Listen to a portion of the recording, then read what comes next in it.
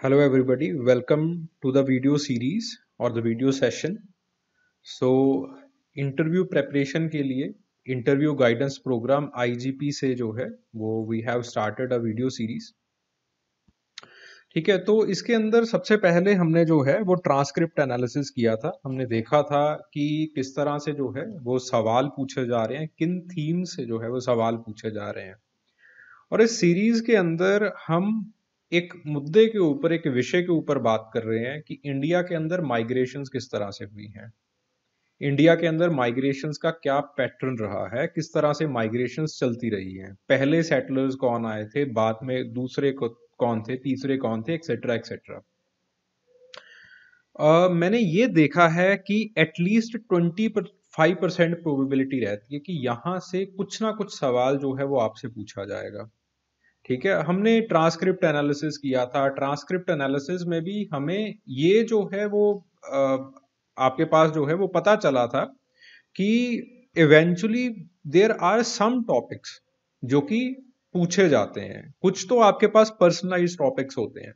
जैसे for example आपकी understanding क्या है? एंथ्रोपोलॉजी क्या है? एंथ्रोपोलॉजी से समझते क्या हो? एंथ्रोपोलॉजी आपने रखी क्यों है? एक्सेट्रा एक्सेट्रा ऐसे कुछ टॉपिक्स होते हैं। Then there are certain fix topics जो कि न्यूज़ में भी होते हैं, और न्यूज़ के साथ साथ आपसे यहाँ पे भी पूछे जाते हैं। ठीक है? उसमें से एक जो टॉपिक है, वो माइग्रेशन का टॉपिक है। ठीक है? और माइग्रेशन के टॉपिक को समझने के लिए कंप्रीहेंसिवली समझने के लिए हमने इन हेडिंग्स के अंदर माइग्रेशन को जो है, वो डिवाइड किया था। पिछली वीडियो के अंदर मैंने इन हेडिंग्स को बहुत ब्रीफली बताया कि इन हेडिंग्स के अंदर क्या क्या काम किए जाएँगे क्या क्या चीज़ों को हम पढ़ेंगे। ठीक है? चलिए पहली हेडिंग को उठाते हैं the first modern human settlers तो एक जो है, वो सबसे पहली जो एक डिबेट है, वो ये है कि जो पहले ह्यूमन सेटलर्स आए हैं इंडिया के अंदर आए हैं, वो उसकी, उनकी जो है वो डेटिंग क्या है? उन, वो कब आए हैं? वो जो है, वो टोबा ब्लास्ट से पहले आए हैं या फिर टोबा ब्लास्ट के बाद आए हैं? ठीक है? टोबा वॉल्केनिक करप्शन आपके पास एक जावा पेनिनसुला के ऊपर जो है, वो एक इरप्शन हुआ था। साउथ ईस्ट एशिया के अंदर जो है, वो इरप्शन हुआ था। बहुत बड़ा इरप्शन था और ये माना जाता है कि कुछ सालों के बाद there was volcanic winter after that ठीक है? वोल्केनिक विंटर जो है, वो हुई और वोल्केनिक विंटर के अंदर अनलेस और until you have immensely developed technology immensely developed cultural content आप उस इरप्शन को वैसी वोल्केनिक विंटर को आप झेल नहीं सकते हो। इट लीड्स टू एक्सटेंशन ठीक है? तो अब because it was again a very important incident that happened Toba volcanic corruption बहुत इंपॉर्टेंट इंसिडेंट है। तो आपके पास कुटोबा catastrophe it took place between 69,000 to 77,000 years ago ठीक है? अब इससे पहले आए थे लोग या फिर इसके बाद आए थे लोग जो है, जो पहले ह्यूमन सेटलर्स थे? देखिए, एक बात क्लियर है कि पहले ह्यूमन सेटलर्स के, की जो एथनिसिटी है, वो कौन थे, कौन नहीं है, उनके बारे में हम अभी तक कुछ नहीं कह सकते। कुछ क्यों नहीं कह सकते? बिकॉज़ जो पहले ह्यूमन सेटलर्स आए थे, उनके हमारे पास डीएनए सैंपल्स अवेलेबल नहीं है। ठीक है so there these are just hypothesis ये सिर्फ़ आइडियाज़ हैं कुछ हाइपोथेसिस हैं जो हम ड्रॉ कर रहे हैं ठीक है? सो so, कुछ लोगों का मानना है कि वो जो है वो पहले आए हैं जैसे आपके पास जो है वो पेट्रा गलिया का मानना है माइकल पेट्रा गलिया का मानना है कि वो जो है वो पहले आए हैं। क्यों? क्योंकि जवालापुरम के अंदर आंध्र प्रदेश में प्री टोबा डिस्पर्सल टूल्स पहले से जो है वो कुछ स्टोन टूल्स जो है वो अवेलेबल हैं। तो माइकल पेट्रागलिया एक हिसाब से जो है वो मानते हैं, उनका ये मानना है, उनकी ये सोच है कि ह्यूमन सेटलर्स जो है वो इंडिया के अंदर टोबा ब्लास्ट से पहले पहुँच गए। लेकिन इवेंचुअली टोबा ब्लास्ट के कारण बहुत सारे ह्यूमन सेटलर्स जो यहाँ पे रह रहे थे even seventy seven thousand years ago उनसे भी पहले जो रह रहे थे, वहाँ, यहाँ पे उनका एक्सटेंशन हो गया। और एक्सटेंशन की वजह से बहुत कम ह्यूमन सेटलर्स जो है, वो बहुत सारों का एक्सटेंशन हो गया, लेकिन फिर भी कुछ बच गए। ठीक है? उन्होंने जो है, वो कुछ अंडेमान आइलैंडर्स की पॉपुलेशन को, या फिर ऐसी कुछ पॉपुलेशंस को जो आपके पास आज भी ट्राइबल के अंदर अवेलेबल हैं, ऐसी कुछ पॉपुलेशंस को जो है, वो उन्होंने रिपॉपुलेट किया, उन्होंने जो है, वो पॉपुलेट किया। ये एक थीसिस जो है, वो काफ़ी हद तक आपके नर्मदा मैन के साथ भी जो है वो जुड़ी हुई दिखाई देती है। ठीक है? नर्मदा मैन के साथ किस तरह से ये जुड़ी हुई दिखाई देती है? नर्मदा मैन जो है वो अब उसके अंदर भी मैंने जो है वो टोबा ब्लास्ट की बात की थी। नर्मदा मैन जो है वो टोबा ब्लास्ट से पहले इंडिया के अंदर आ, जा, आ जाता है। अगर हम नर्मदा मैन को जो है वो आर्किक होमोसेपियन की तरह जो है वो मानते हैं। वो नर्मदा वैली के अंदर जो है वो बसा रहता है और नर्मदा वैली के अंदर जो आपके पास जो है वो रिसेंट रिसर्चेज हैं नर्मदा वैली के अंदर आपके पास दो तरह के नर्मदा मैन पाए गए हैं। एक नर्मदा मैन जो है वो वो पाया गया है जिसकी हाइट लंबी है मीडियम टू लॉन्ग हाइट है। एंड देन जो दूसरा नर्मदा मैन पाया गया है वो जिसकी जि, जिसका जो स्टेचर है और जिसके जो फ़िज़िकल ट्रेट्स हैं वो ओंगे ट्राइब अंडेमान आइलैंडर जैसे हैं। तो हम किसी ना किसी तरह से माइकल पेट्रा गलिया की भी जो है वो इसी लिंक के साथ जो है वो सोच आगे बढ़ती है।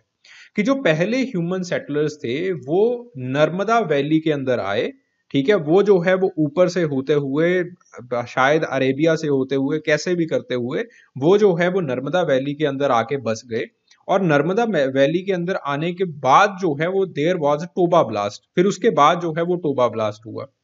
ठीक है? तो टोबा ब्लास्ट जो है, वो उसके बाद हुआ और टोबा ब्लास्ट के अंदर भी आपके पास जो है, वो देर वर सर्टन कुछ आपके पास जो है, वो उनकी हैबिलेशन रही।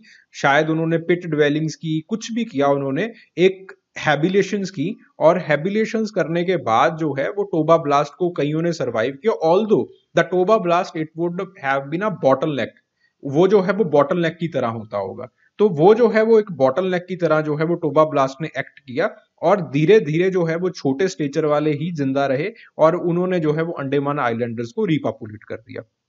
ये जो है वो पेट्रा गलिया की सोच है, ठीक है? उनका जो सोच है, उनकी जो हाइपोथीसिस है वो इस डायरेक्शन में जो है वो आगे बढ़ता है, ठीक है? ऑन दी अदर हैंड जो दूसरा स्कूल ऑफ़ थॉट है, वो एपेंजलर का जो है वो स्कूल ऑफ़ थॉट वो कुछ इस तरह से कहता है। उन्होंने जो है वो आपके पास जो डीएनए म्यूटेशन है हैप्लो ग्रुप एल थ्री उसको जो है वो उन्होंने स्टडी किया है और उनको स्टडी करते हुए उन्होंने कहा है दैट इट इज़ अबाउट ये जो आपके पास आउट ऑफ़ अफ्रीका ये जो म्यूटेशन हुई है it was about sixty thousand to seventy thousand years ago ठीक है, इतनी पुरानी जो है, वो ये म्यूटेशन दिखाई देती है।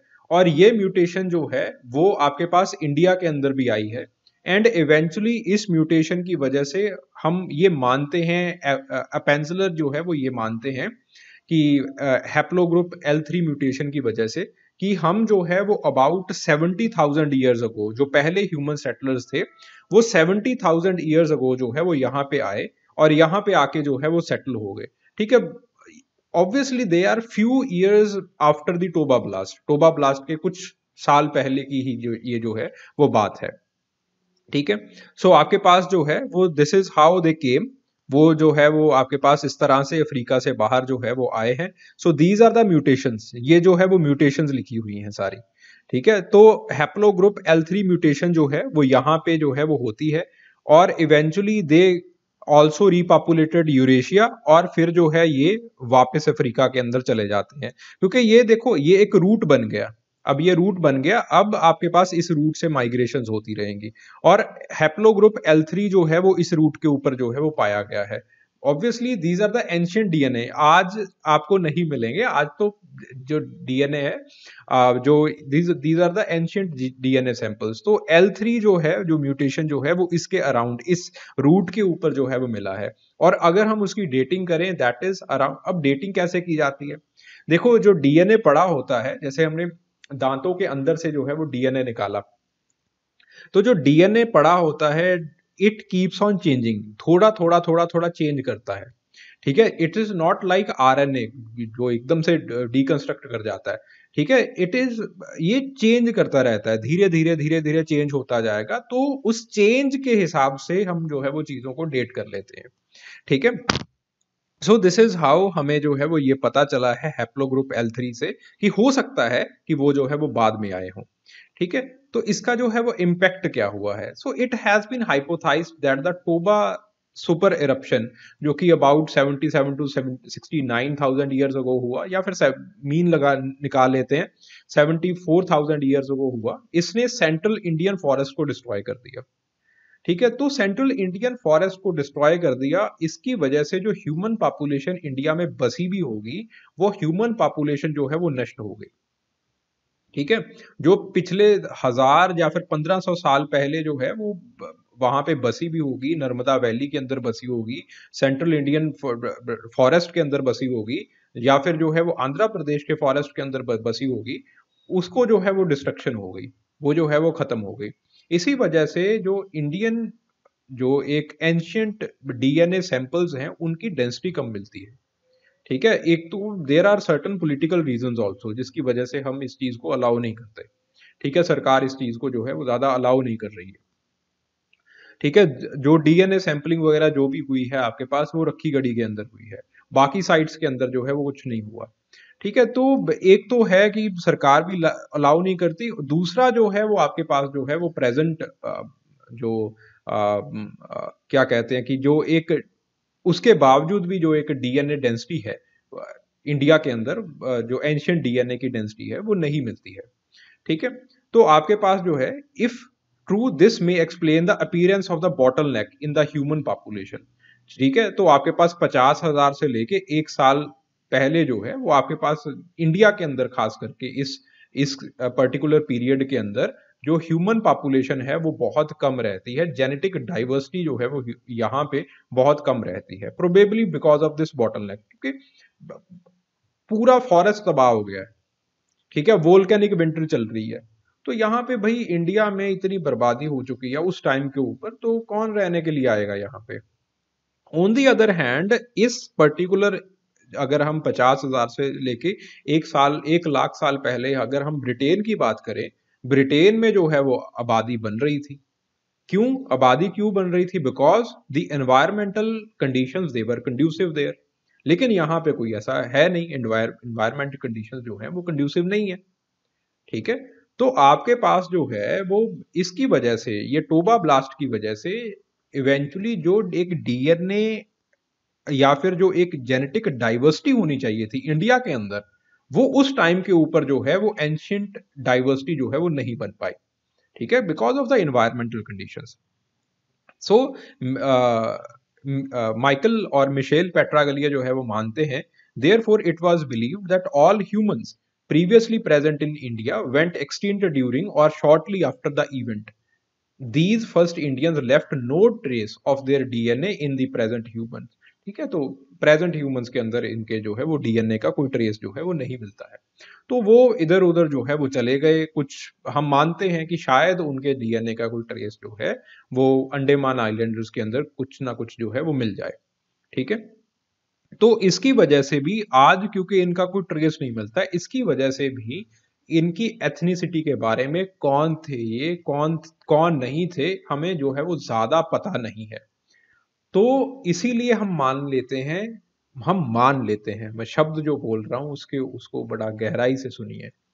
तो इसीलिए जो है, वो हम ये मान लेते हैं कि जो नर्मदा मैन है, नर्मदा मैन से ही आगे कुछ एवोल्यूशन हुआ, जो एवोल्यूशन टोबा ब्लास्ट में लोग ज़िंदा रहे और आज हम again this is are hypothesis और आज वो ओंगे ट्राइब के अंदर अपने आप को रिप्रेजेंट कर रहा है।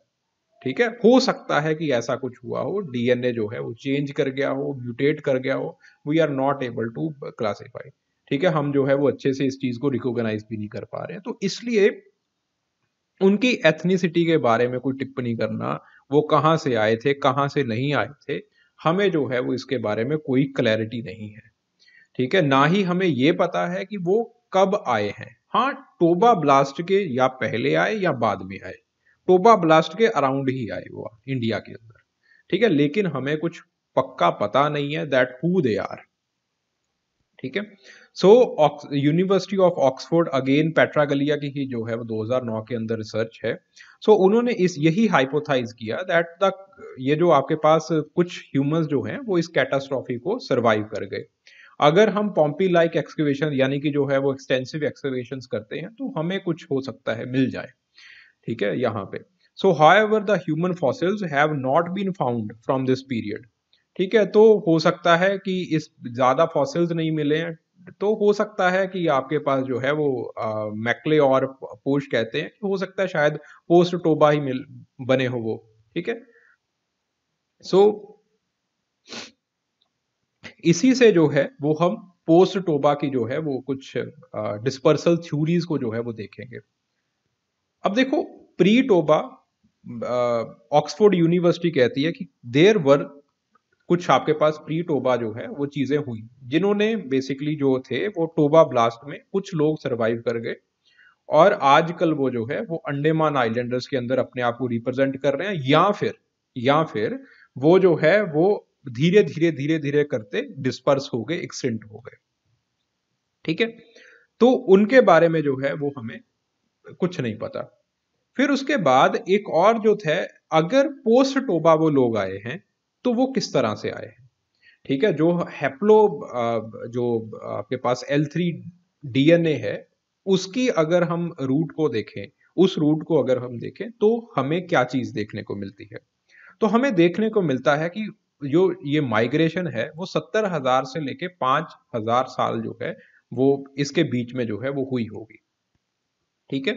तो उन्होंने जो है वो रेड सी को क्रॉस किया और रेड सी में अरेबिया से होते हुए वो जो है वो इंडिया तक जो है वो पहुँचे हैं। ठीक है, इस तरह से कोस्ट कोस्टल प्ले कोस्टल जो प्लेन्स हैं, उसके आसपास जो है उन, वो होते होते वो जो है वो इंडिया में पहुँच गए। गुजरात के अंदर जो है वो ये लोग जो है वो पहुँच जाते हैं। ठीक है, गुजरात और नदरन इंडिया के अंदर थोड़े बहुत जो है वो पहुँच जाते हैं। So genetic genetist uh, Spencer Wells say that the early travelers they followed the southern coastline of Asia.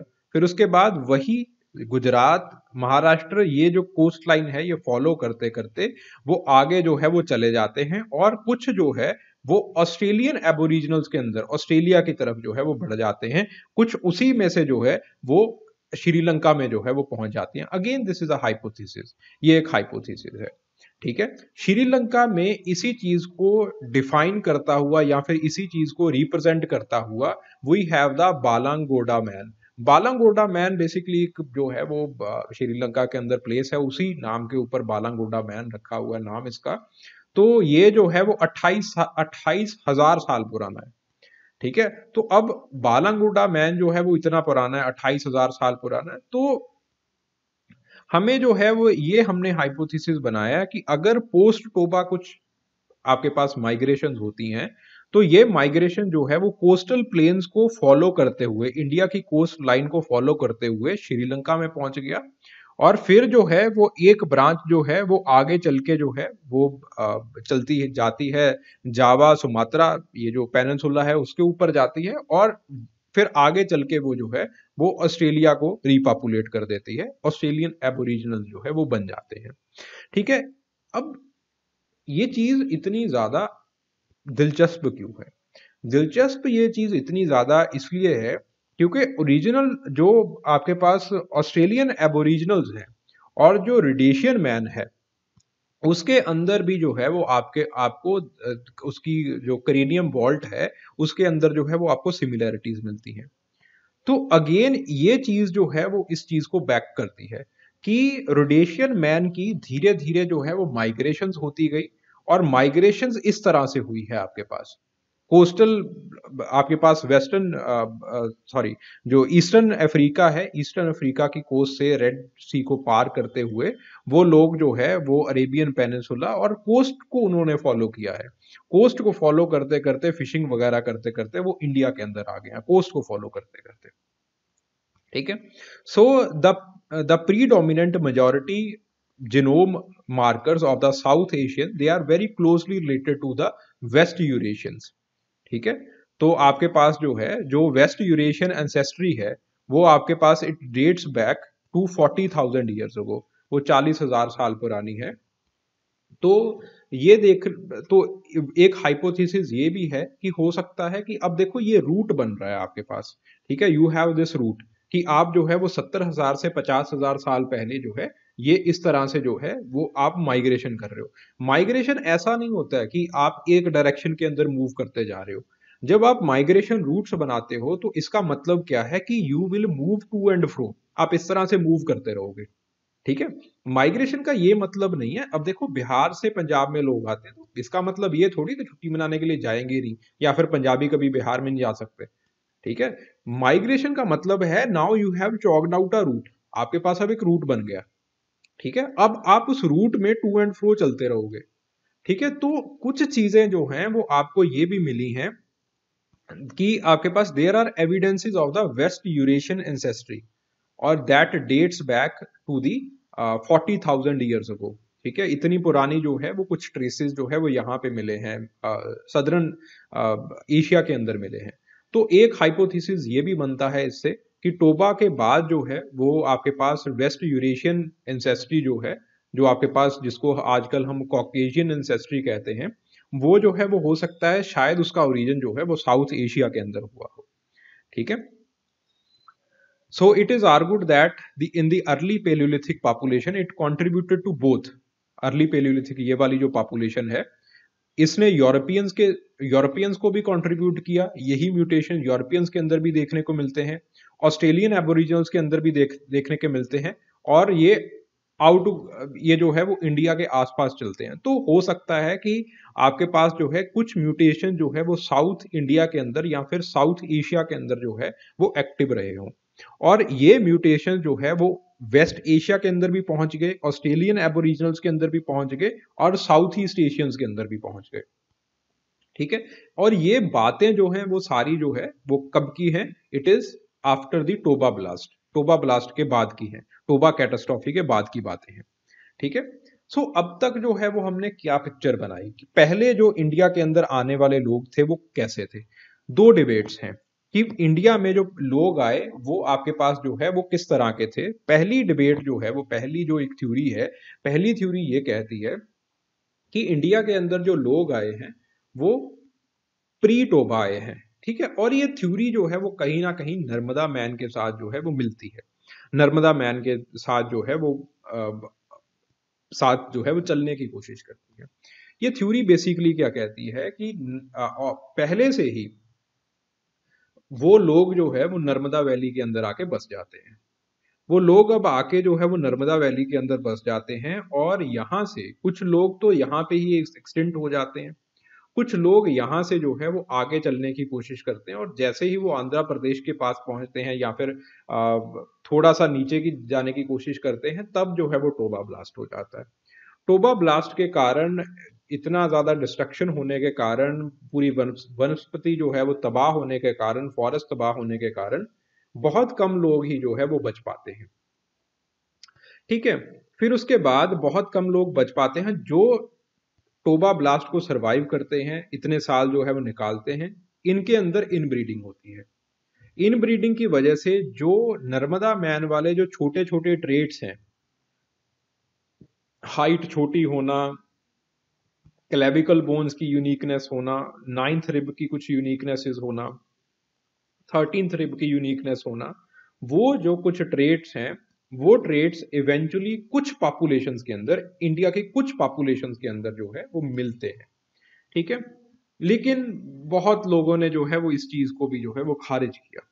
ठीक है? ऑंगेस के अंदर खैर मिलते तो हैं, लेकिन बहुत लोगों ने इस चीज़ को जो है, वो खारिज किया हुआ है।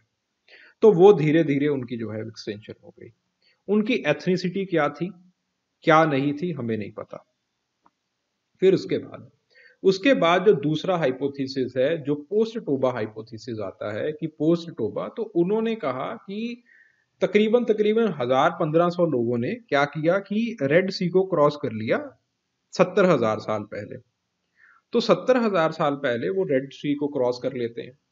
फिर रेड सी को क्रॉस करने के बाद इवेंचुअली वो कोस्टल एरिया से होते होते इंडिया के अंदर एंटर करते हैं।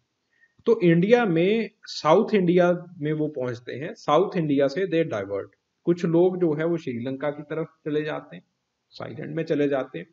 कुछ लोग जो हैं वो मलाय पेनसुला के अंदर चले जाते हैं। कुछ लोग जो है वो ऑस्ट्रेलियन एबोरिजिनल वहाँ पे चले जाते हैं। ठीक है, ये बात जो है, ये होते होते सत्तर हज़ार साल से ये जो है वो चीज़ें बनती हैं, पचास हज़ार से चालीस हज़ार साल पहले। ठीक है? और चालीस हज़ार साल ही वो उम्र है, वो आपके पास ईयर है, जब आपके पास जो है वो वेस्ट यूरेशियन एंसेस्ट्री के कुछ कंपोनेंट्स जो है वो हम मानते हैं कि कॉकेशिया के अंदर या फिर वेस्ट यूरेशिया के अंदर जो है वो आपके पास जो है वो बनते हैं। तो कहीं ना कहीं ये चीज़ जो है वो इसके साथ भी लिंक रहता है कि हो सकता है कि जो सदर्न एशिया है सदर्न एशिया के अंदर ही, अंदर जो है वो लोगों के अंदर कुछ ऐसी म्यूटेशंस हुई कुछ ऐसे जो है वो नई चीज़ें बनी जिसने एक जो है वो वेस्टर्न यूरेशिया को भी को भी पॉपुलेट किया आ, इंडिया साउथ इंडिया को भी पॉपुलेट किया श्रीलंका को भी पॉपुलेट किया आ, जो आपके पास साउथ ईस्टर्न एशिया है उसको भी पॉपुलेट किया जो ऑस्ट्रेलिया है उसको भी जो है वो इन्होंने पॉपुलेट किया। ठीक है so it becomes the base अब बेस जो है, दिक्कत यहाँ पे क्या है कि बेस बहुत छोटा है। ठीक है बेस बहुत छोटा है और आज की एथनिसिटी के साथ ये लोग जो है, वो मैच नहीं कर रहे हैं। ठीक है, आज का अगर हम मैं रेशियल कम्प्लेक्स की किसी की बात करूँ तो ये लोग जो है, वो खास करके जो इंडिया का रेशियल कम्प्लेक्स है, उसके साथ जो है, ये आर के होमोसेपियन जिनकी हम बात कर रहे हैं, ये जो है, वो मैच नहीं करते। ठीक है तो कल की क्लास के अंदर हम जो है वो एंशंट साउथ इंडियन एंसेस्ट्री की बात करेंगे, ठीक है? जो कि वाक्य में आज भी प्रेजेंट है, ठीक है? चलिए चलिए thank you very much hope you enjoyed the lecture thank you